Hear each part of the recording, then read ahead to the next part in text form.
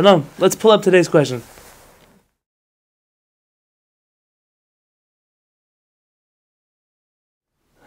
That's a fantastic question. That's actually very relevant to the Jewish conversation today. I grew up in a house where my father always reminded me that en mitzvah liot tipesh. There's no mitzvah to be a fool, to be uneducated, to be illiterate.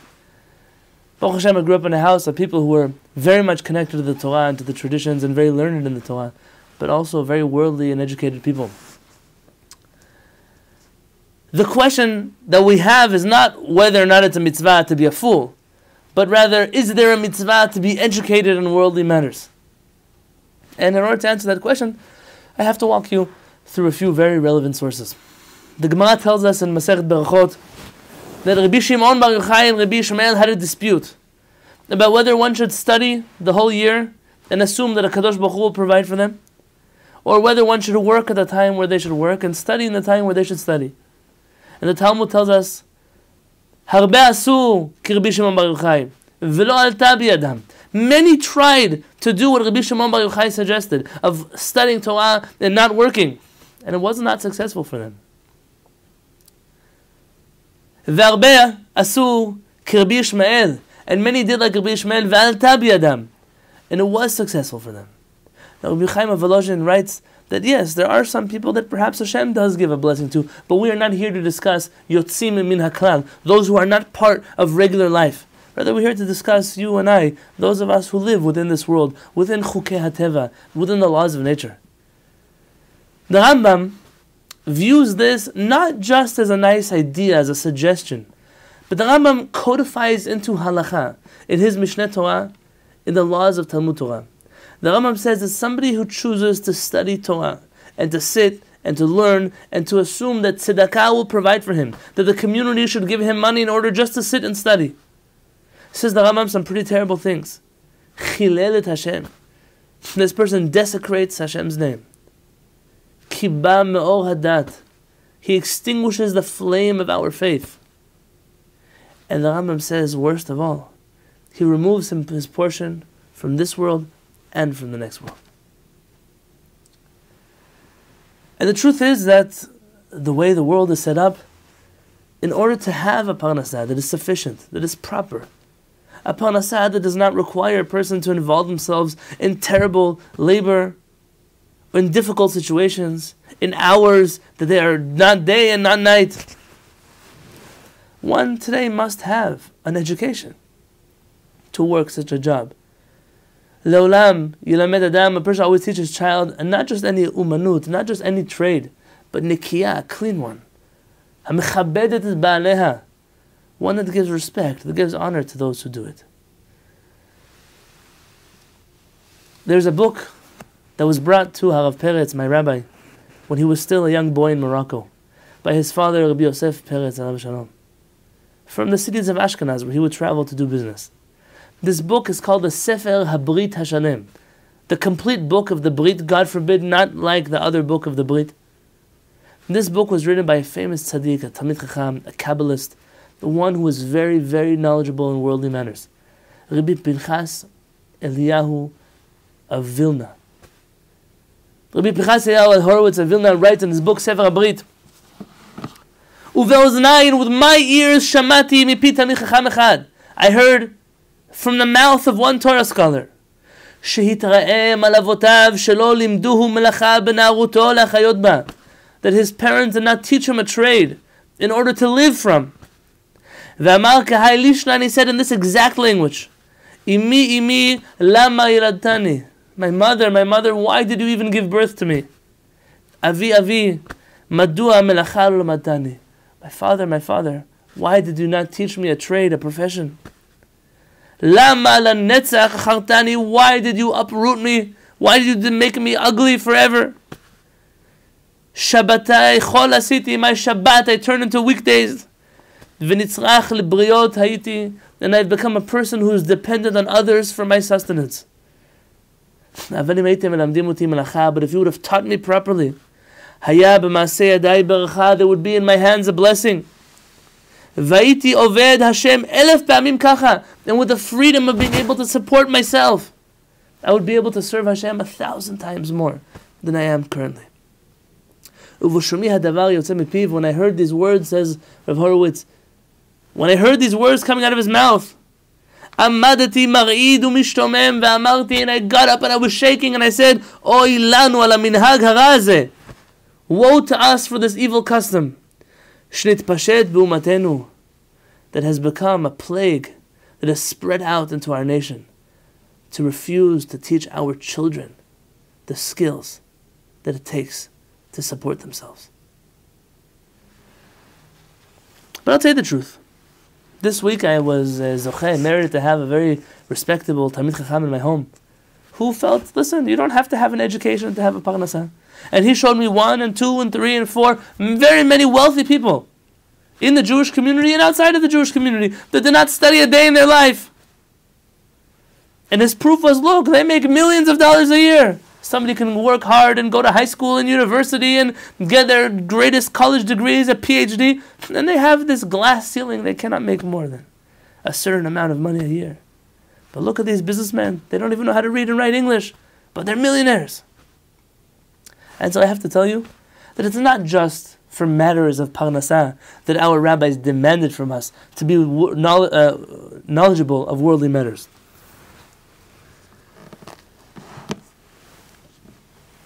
Rabbi Yosef Kapach, who was one of the giants of Yemen, writes in one of his books an essay about the Rambam's approach to secular studies. You know, in the Jewish community, we call them Jewish studies, the Kodesh, holy studies, and Limudei Chol, secular studies.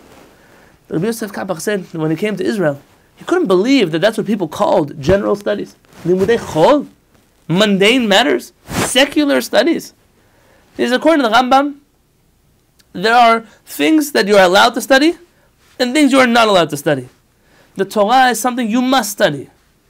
And any of the wisdoms of the world, science, mathematics, literature, grammar, history, philosophy, is obligatory upon a person to study. And therefore, says Rabbi Yosef, that in the tradition of the students of the Rambam, of who I am very proud to stand among, the study of what others would call secular studies is actually none other than a form of limudei kodesh, holy studies, because it's required for a Jew to be knowledgeable. In fact, if you open up the Rambam's Mishneh Torah, in his code of law, and you look in the laws of what it means to be a member of the Sanhedrin, of the supreme Jewish court in biblical times, the Rambam says that in order to sit in the Sanhedrin, one must be familiar with medicine, with science, with math, with uh, wisdoms such as idol worship. One must be proficient in idol worship. How could one judge people who are guilty of worshiping idols if one does not know how to worship idols?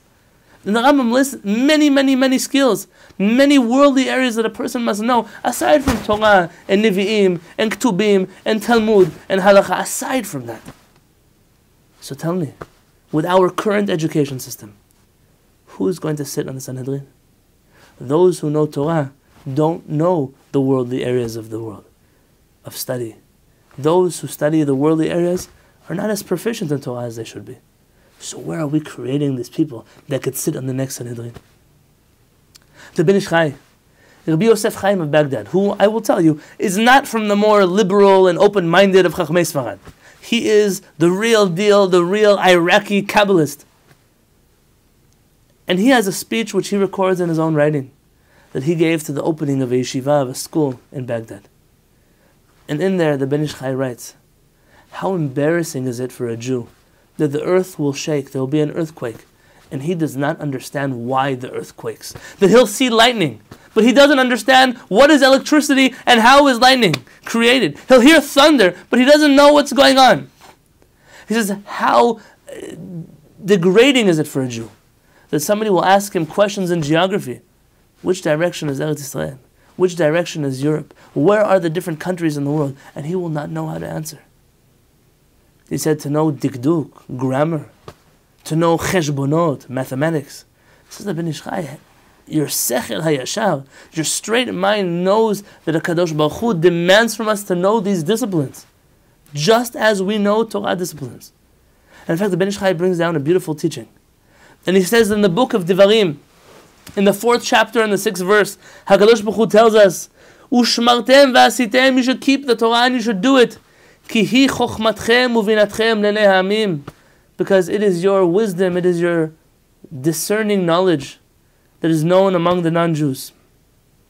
Asher et kol chukim v'amu, they will hear all of these teachings and they will say, Rak am chacham, v'navon hagoy hagadol. Look how wondrous, look how brilliant this nation is. Says the Ben Ish Chai, you think it's the Torah that's going to make them say, wow, such a brilliant nation. What do they know about Torah? What do they understand about mitzvot? Rather, when they see an Am Yisrael that is proficient in the Torah, that is brilliant in its Torah and its mitzvot, but also not just chokhmatchem, your Torah, ubinatchem, the knowledge they have looking at the world. And then the nation will say, Ki am chacham v'navon hagoy hagadol hazeh. Look how brilliant this nation is. Look that they know about their Torah and they understand everything else in the world. How could it be that we would expect anything different from someone who wears the cloak, who claims to be part of the chosen people, part of Am Yisrael? And if you think that perhaps this is some Sephardic teaching that is unique to the Sephardic Chachamim, which I'll tell you the truth, Rabbi Yaakov Chagiz is one of the Chachamim who had a yeshiva in our history, who taught both Judaic studies and what others would call secular studies, and made generations of Talmidei Chachamim whose names are still shining throughout the Jewish world. But no, it's not just a Sephardic thing. It's not that some rabbis say this and some rabbis say that. Those rabbis who argue do not have a leg to stand on. They have invented a new Torah. They have invented their own teachings with audacity, with chutzpah, to say that this is their tradition from their rabbis, from their teachers, from who? If you are not obedient to Chazal, to the Chachamim of the Mishnah and the Talmud, if you are not obedient to the Rambam, to the Shulchan Aruch, then tell me, who is your tradition from? How dare you, in the name of our Torah, say that one should be an illiterate fool, that one should not speak the language of the country in which he lives, that one should not know sciences, that one should not know mathematics, that one should not understand literature, that one should not be educated in a well rounded manner. I'm not coming to you from a place of new traditions. This is our tradition for thousands and thousands of years since Moshe Rabbeinu gave us a Torah on Mount Sinai. Harav Kook, the giant of his times, the most underappreciated tzaddik of his generation. Harav Kook has a letter, which he says pours out his soul. He says, "You know, it's very difficult for me to find much in common with the giants, with the Torah giants of my generation." He said their insistence to walk on the old path and only the old path, and that's the way that we've always done it. He said, I cannot relate because that is not what this generation demands from us. That is not what this generation requires from us. And the more we refuse to cater to this generation and to the needs of the generation, says Rav Kook, we are the reason why they run. We are the reason why they leave Yahadut. We are the reason because we cannot show them how to walk on the old path, which is so beautifully blended with a path that is new. Rav Kook says, but why is it? Why is it that they are so adamant that the old way is correct? Rav Kook says something that if he didn't write it, I would never say. Rav Kook writes that it's because we've created a generation of Torah scholars that are not experts in Yirat Shamayim, in the fear of heaven, in the awe of heaven. They know the rules. They know what it says in the books. But the awe of heaven is lacking from their hearts and souls. He writes this about very great tzaddikim. This is therefore someone who doesn't have natural Yirat Shamayim. Somebody who's so afraid to step out into the world and say, Tell me what is good. Torah bagoyim, if the world tells you we have Torah, al tamin, do not believe. But the rabbis tell us, Chokhmah bagoyim, wisdom among the nations of the world, tamin. Of course there's wisdom among the nations, says the Rambam in his introduction to the eight chapters of psychology. Accept the truth from whoever says the truth. How could you say that there's someone in the world that doesn't have a truth that we can learn from? Says Kook, it's their fear. It's their lack of Yirat Shamayim. Their inability to take good from the world around them and to bring it into Am Yisrael. Says Kook that he would really try to change this. And he would really try to make a difference. But as he concludes with his words, who is there to speak to about strengthening the Torah with his wisdom? Mi askimni, who will agree to me? מי ירצה להפקיר את כבודו בשביל כבוד השם יתברך ותורתו וקדושת ארץ חמדתו? Who is willing to forego his honor, to give up his own pride of being so religious for the honor of Hashem, for the honor of Hashem's people, for the honor of Hashem's beloved land. It's a matter of ego. It's a matter of arrogance. I cannot step down from my high and mighty throne. Says all I can do is hope that in honor of Hashem it will be done. And I pray that Hashem will instill in the hearts of all those who know the Torah speedily.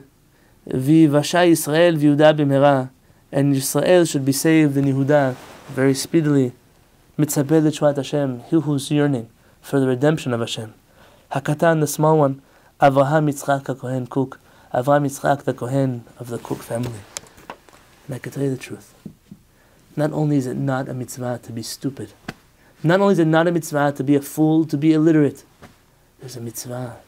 There's a mitzvah that the world should look at Am Yisrael and say, Ki am chacham v'navon hagoy hagadol hazeh. That this nation is a nation of brilliant people, of wise people, of discerning people. And Bezat Hashem, we should live to see that day come to us very soon. Because as the Sefer HaBrit says, if the Galut was bad for the Jews, it was not as bad as what we got out of the Galut. This ignorance, this arrogance, this illiteracy, it didn't do good for the Jewish people. And it still does not do good for the Jewish people. So, my friends, I ask you, this was a fantastic question. And we know that it's going on in the Jewish world. This debate is roaring, this debate is taking headlines. But let those people will not fool you when they tell you this is the way of the Torah. The way of the Torah is just to study Torah, to ignore the rest of the world. This is not true.